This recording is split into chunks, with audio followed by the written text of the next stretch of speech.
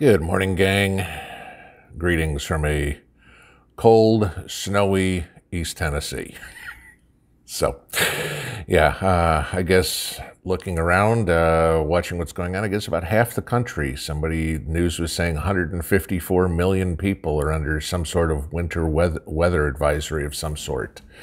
So, yeah, so it kind of brings me a little bit to what I want to talk about today. And, you know, so many channels, so many people, myself guilty, some of it sometimes too, talk a lot about what the causes are. And I try to stick to to some solutions, all right? Because I can't change what happened yesterday. It's done. It's in the history history books, you know, even though a lot of people want to erase the history books, it's still there. Okay. But I can't change it. So, I want to pose a question to you guys, all right?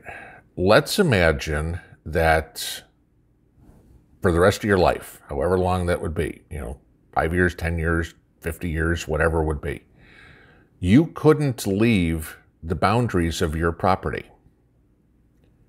Do you have the infrastructure? Do you have everything you need to survive and live? Okay. And you all know why there's a difference in my mind between surviving and living. Okay.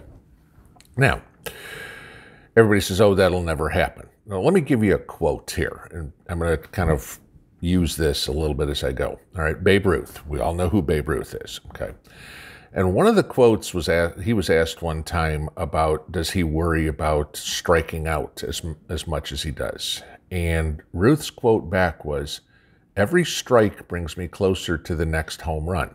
Okay? And that's very true because since the beginning of time, people have been predicting the end of times. We know that, okay? Watch any football game the guys with the signs or the guys with the sandwich boards, whatever it would be, okay? What I can tell you with 100% certainty is we are closer today to the end of times than we were yesterday. Okay? That's just a fact, all right? One day, none of us know when, eventually it's going to hit, okay? And so I ask you, are you ready? Okay. And I'm going to give you this about the end of days, if you will. All right. And this comes out of 2 Timothy uh, chapter 3, verses 1 through 5. I'm just going to read it to you. But understand this that in the last days there will come times of difficulty, for people will be lovers of self, lovers of money, proud, arrogant, abusive, disobedient to their parents, ungrateful, unholy, heartless, unappeasable, slanderous, without self control, brutal, not loving good, treacherous, reckless, swollen with conceit, lovers of pleasure rather than lovers of God, having the appearance of godliness but denying its power. Avoid such people. Does that sound anything like the world today? To me, it does. Okay. You know, especially with everything going on, you know, with the World Economic Forum and the divisiveness that we see in the country and everything like that. This is kind of where we're going, all right? That somehow, some way, and I can't tell you how, I'm not a prophet by any means, uh, the end is coming. And whether it's going to be the end economic, uh, economically, the end uh, civility is pretty much we already know. You know, I mean, people just hate each other. We see that daily. Okay, but the civility in the world has disappeared. Okay, and then you get along with that the stoking of the fire, okay, between politicians, between the news media, and everything. And I'll give you one more Bible verse here that I think is pertinent. And this is Isaiah uh, chapter 5, verse 20. Woe to those who call evil good and good evil, who put darkness for light and light for darkness, who put bitter for sweet and sweet for bitter. This is what we're seeing, guys. Okay. And I say this because of kind of what's going on in the country, at least right now, with this massive polar vortex. Okay. I looked at the, the news this morning it was actually colder in Brownsville, Tennessee, southern tip of Tennessee, or I'm sorry, Brownsville, Texas, southern tip of Texas, right there on the Mexican border, than it was here for me in Tennessee. Okay. If you've all seen what's going on in Texas, you know, Texas got their own power grid. All right like half the state is without power. They're doing rolling blackouts because of power outages. All right, people are staying in their cars to stay warm because their apartments and their homes they have no electricity to heat them. So they're going out to the car, starting the car, and warming up in the car. Dangerous, yeah. Uh, hopefully, they're not doing it in a closed garage. But this is kind of the thing, guys. All right do you have your infrastructure set up to the point where if suddenly it was not safe, let alone possible, for you to leave home, can you survive?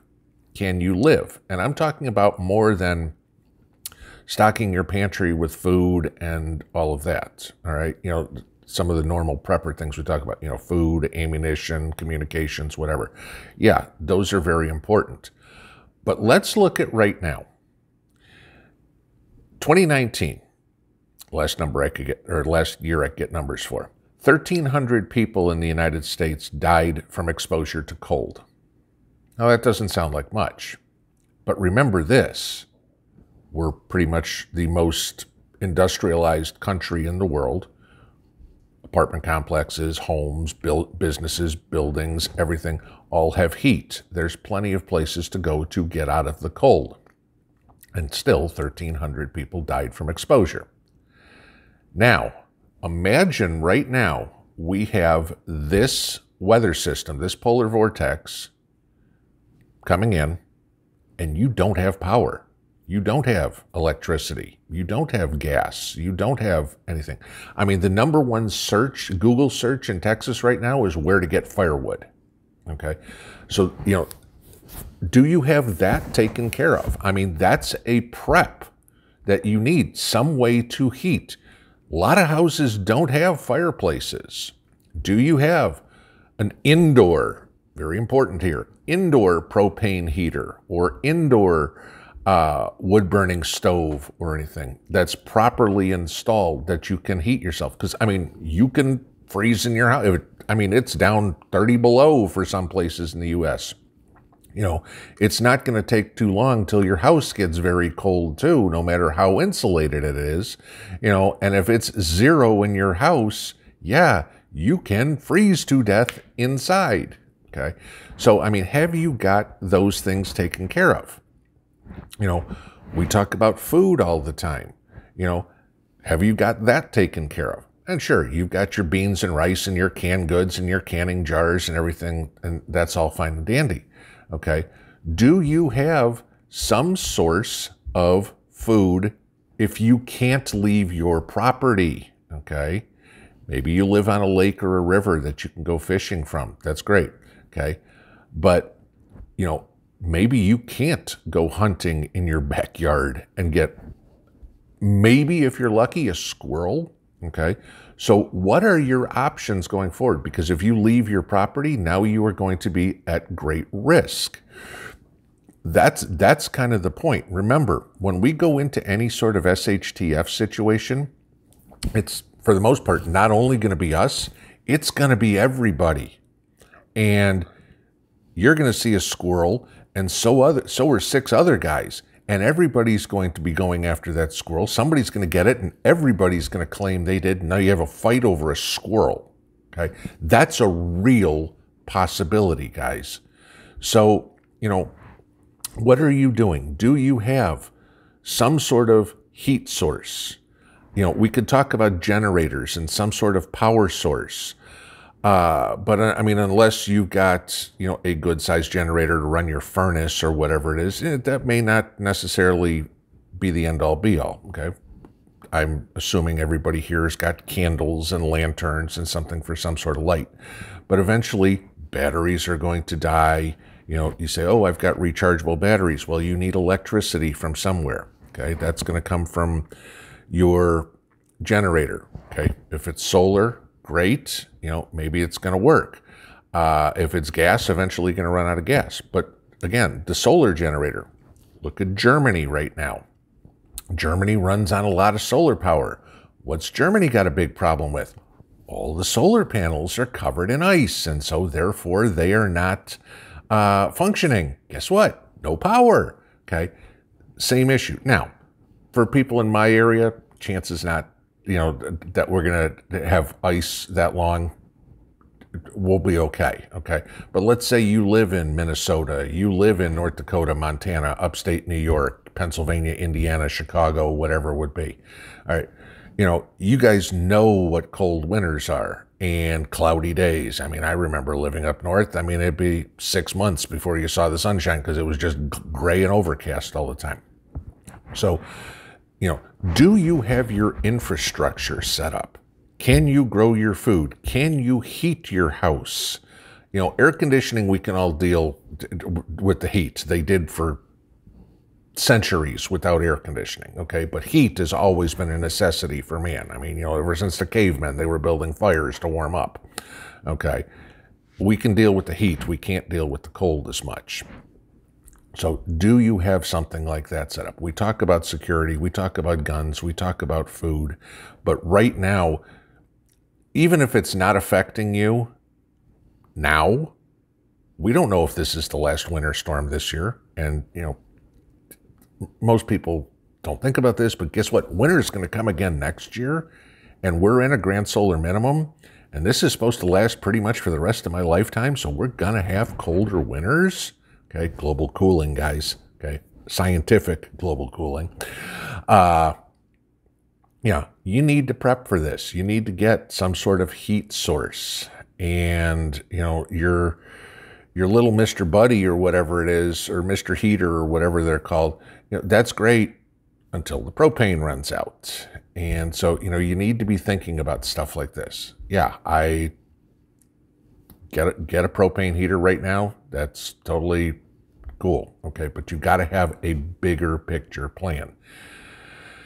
Because when we start calling good evil and evil good, which is kind of what the world's going right now, and we know what all the yahoos over in Davos are trying to do to us, they're, you know, just like this, going, ooh, look at this, another crisis. We can just, I mean, you know, they're excited, okay, because it's another way for them to just beat us down and take our will away. So get your infrastructure right. Think about it, everything, anything. Imagine living in your house, can't go anywhere, not for a week, not for four days like this storm's supposed to last. Think of it for a month. Think of it for three months. You plan that long for your food. Plan that long for everything else because your life's going to depend on it. Have a good one, guys. Pinball out.